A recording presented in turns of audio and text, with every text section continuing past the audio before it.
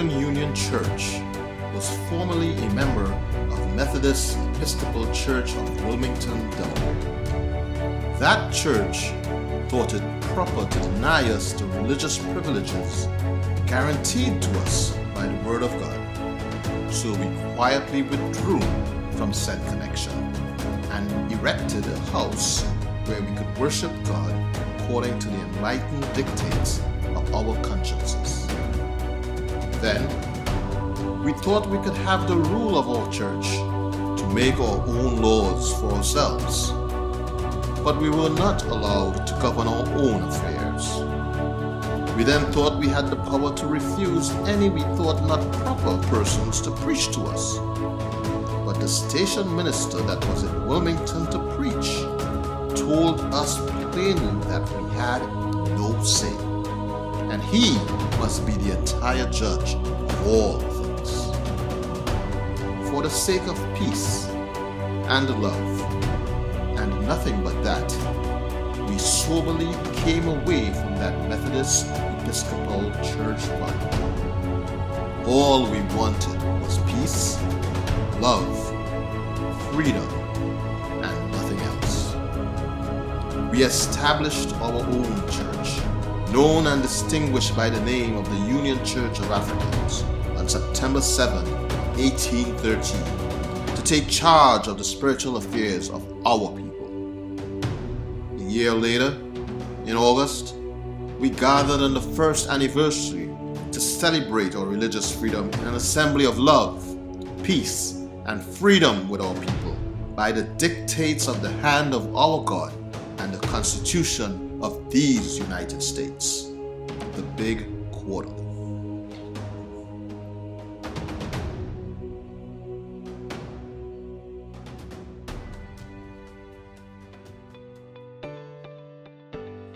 It's like a lot of history because as a child, I was an August Quarterly child. And it was on French Street, I will never forget. Family would be coming in on the trains and on the buses, and they would start coming in on Friday. At that time, August Quarterly was really on, basically on Sunday. And we were all so happy because black people didn't stay in hotels and things like they do now back in the 50s and 60s. They stayed with their family. So our family would be coming in and my mom would be cooking and the cousins would be bringing box lunches so we'd have enough food to eat and boy, we could not wait until Sunday. We would go from 4th Street to 16th Street, just walking up and down the street. We didn't know what we were doing. It was just August Quarterly. It was a time for all the family to get together and and just have a good time and be family and laugh. And they would tell old time stories. We had no idea anything about Peter Spencer or August Quarterly. It was it was just wonderful. So in growing up and getting older and learning the history of what we were celebrating, it just made it even better to know that we could continue to carry on this legacy over the years. We've been through urban renewal. We had to move from the old church into the new church and all of the different things that we have experienced. And, and the older I'm getting, the more I'm finally learning about Peter Spencer, his mission. It, it, it's just a wonderful thing. August Quarterly, um, as a youngster growing up in the city of Wilmington, I can recall um, running with my friends up and down French Street, uh, eating uh, the cotton candy and being uh, uh, shooed away from discussions that adults were, were having. Uh, to me at that time, it was just a, uh, a festival, a uh, opportunity for people to come together and to enjoy themselves. I remember when I came to Delaware in 1960 and I got excited about August Quarterly and I learned about Peter Spencer and I was really beside myself to learn that we were in Delaware. We were the birthplace of the oldest African American independent faith organization of faith in the whole country. And at that time, August Quarterly was all downtown. It was just really uh, an expression of who we were, what our culture was, religious, our music, our eating, our singing, our feeling, our believing. I was so excited, and I'm still excited. Well, August Quarterly and Peter Spencer are probably best understood in the context of civil rights. I often refer to uh, Peter Spencer as the first civil rights leader. When he started the uh, Union Church of African Members in 1813, he was standing on the principles of the First Amendment that says that uh, people should have a right to be able to worship uh, with their own sense of self determination.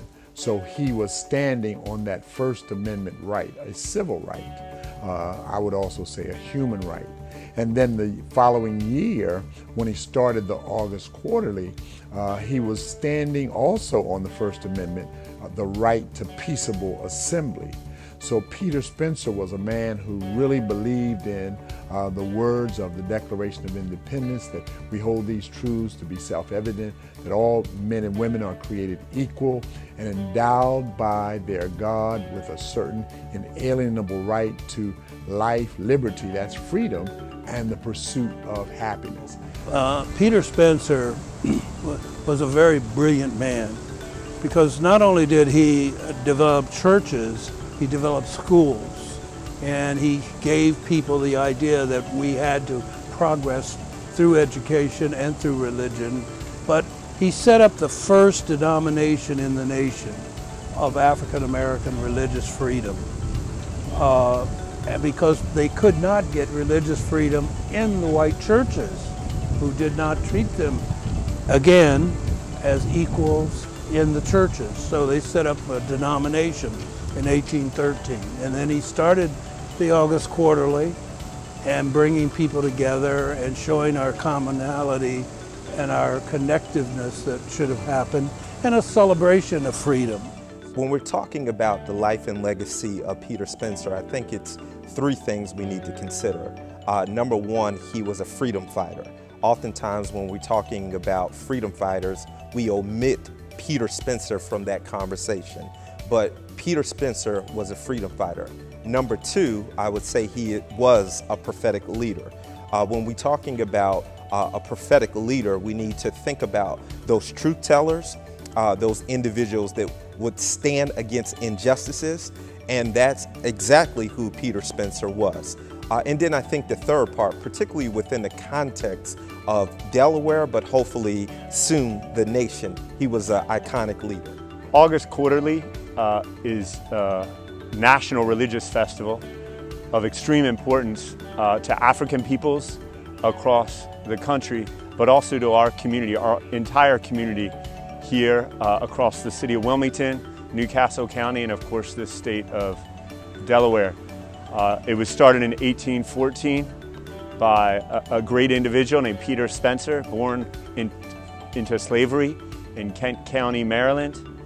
Uh, he came to Delaware and found his freedom, I guess we can say, uh, and, and uh, became a great leader through the African Union Church uh, and set an example not just for, Afri for African peoples, but not just for African peoples, for all of us to understand our collective history, the beauty and extraordinary aspects of those history, and some of the injustice and ugly things about those, that history.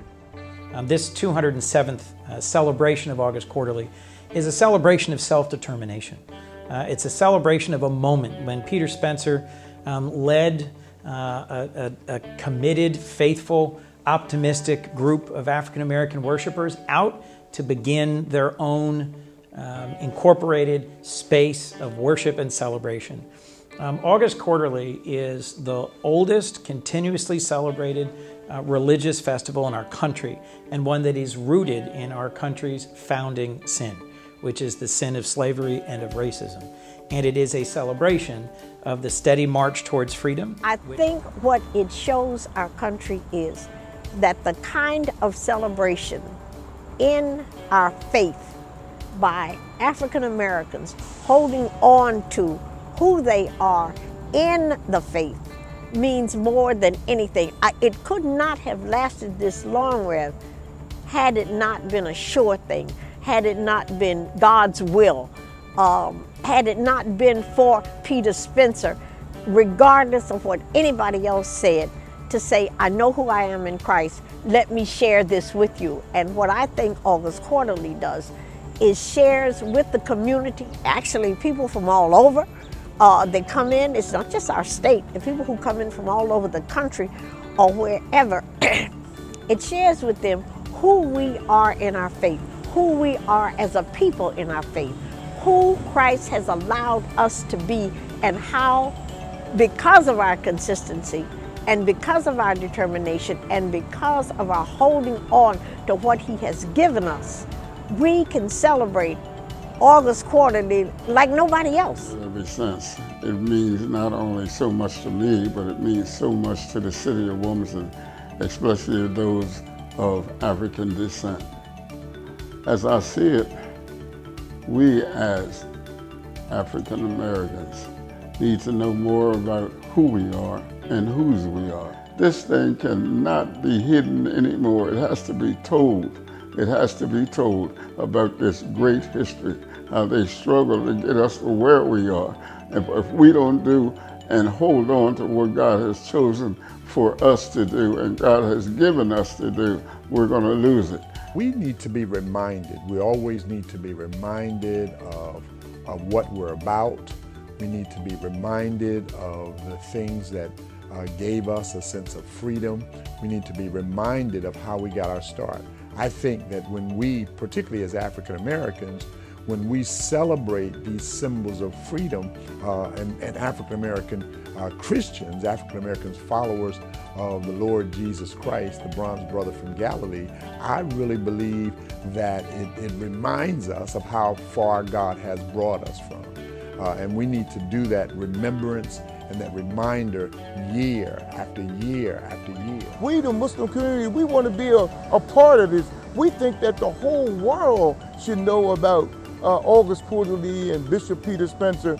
And so we started with the what has become known as the African National Day of Assembly. And I think that people need to understand the continuation of celebrating us, understanding cultural significance of our own selves, understanding the religious significance, because it began in Delaware by Delawareans. People don't know that. Peter Spencer, Richard Allen, Absalom Jones. You can't beat them. They were the, the, the giants of religious freedom, and especially for African Americans. Where is this journey towards freedom taking us? Um, it's important to remember and to celebrate the history of August Quarterly, but it's also important to support its forward movement, to say that something that was born in the very depths of slavery, that was born of a, a yearning and a determination um, for freedom in the harshest time in American history, cannot end now. It has to be a march that continues. The August Quarterly has been and continues to be important particularly within our communities. When we reduced the August Quarterly uh, to just a week-long religious festival, we missed it, right? Uh, when Peter Spencer uh, really saw the importance of the August Quarterly, it wasn't just a week-long revival, but rather it was a gathering where our people, we can really think about our social, cultural, and political advancements. When we go now to 2020, what, what's important in our communities? Social, cultural, and political advancements. So yes, the worship is important. Yes, the fellowship is important, but most importantly, it is also a social justice movement so that we can really advocate for individuals that look like us in our communities. During this time of the pandemic, we have come together like glue. It, everything was up in the air. We didn't know whether we were going to have August Quarterly. We had planned to go left and this pandemic came and we had to go right and then we would have to make adjustments. which shows that we're a flexible people. That this virus, like so many diseases, so many bacteria, viruses, it attacks um, inequities. It finds communities that aren't able to go to the doctor, that aren't able to get medicine, maybe have a series of pre existing conditions. And this disease, very clearly, COVID, is more dangerous and more fatal in communities of color across our country and also right here in New Castle County. And then so suddenly you have to step back and say, wait a second, this isn't just a health equity problem, it's a problem of economic equality. Right, and then you talk more about economic equality. You say, wait a second, this is also an issue of educational inequality. And next thing, and maybe there's some criminal justice, criminal injustice in there as well. And you say, okay, as August Quarterly, we can't, there's a temptation, right, to say, okay, let's just focus on health inequities this year. But from my perspective, what I've seen, you know, operating nearly 100 test sites now, COVID-19 test sites, seeing the results come in, is that it's all tied together. At my 84 years, I have never known anything else but difficult times. I, have known lynchings. I've known uh, Ku Klux Klan. I've known uh, uh, a, demeaning uh, a person as an individual because of the color of their skin. Uh, I've known all the, uh, and heard all the derogatory terms and whatever else you want to call us. But I also know, like Peter Spencer, regardless we have survived, we have thrived, we have grown. It's a different kind of August Quarterly this year. We won't be gathering in person. I will miss it deeply, but I will enjoy it virtually. But this also opens the doors digitally uh, for us to engage our whole country and the world. Thank you, and thank you for what you're doing.